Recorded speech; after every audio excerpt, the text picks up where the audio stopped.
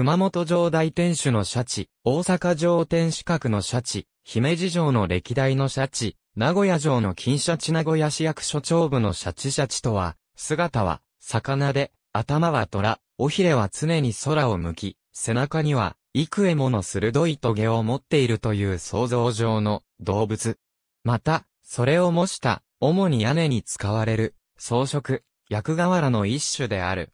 一時でシャチ、シャチホコとも書かれる。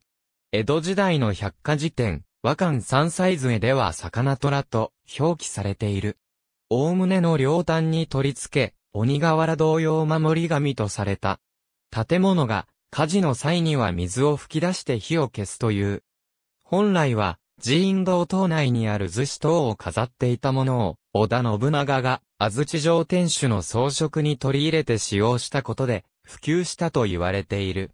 現在でも陶器製やセメント製のものなどが一般の住宅や寺院などで使用されることがある。瓦、木、石、金属などで作られる。城の天守や主要な櫓や櫓門などにはよく陶器製のものや銅板張り木造のものが挙げられる。城郭建築に用いられている銅板張り木造車地のもので最大の現存例は松江城天守のものと言われている。青銅製のものでは高知城天守のものがある。粘土製のシャチ瓦は重量軽減や乾燥時のひび割れを避けるために中を空洞にして作られているため非常に壊れやすい。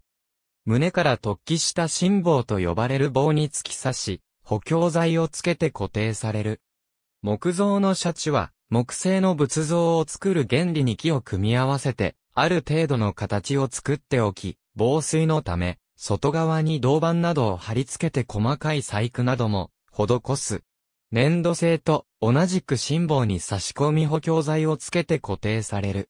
本来の目的は飛来である。金色のシャチのことを特に、金シャチという。金シャチには、陶器製のシャチ瓦に漆を塗り、金箔を貼り付けたものが多かった。一般の金箔押しシャチ瓦は、岡山城天守に創建当初載せられたものなどがある。得意なものでは、木造のシャチに、銅板の代わりに金板を貼り付けたものが挙げられることがある。構造は銅板張りの木造シャチと同じ。現在の名古屋城大天守に挙げられているものが、それである。同じ仕様のものは、徳川大阪城天守や江戸城天守などに使用された。寺島良安、和漢三歳、図江七巻、島田勲、竹島厚夫、樋口元宮区中平本社、東洋文庫、1987年、181ページ。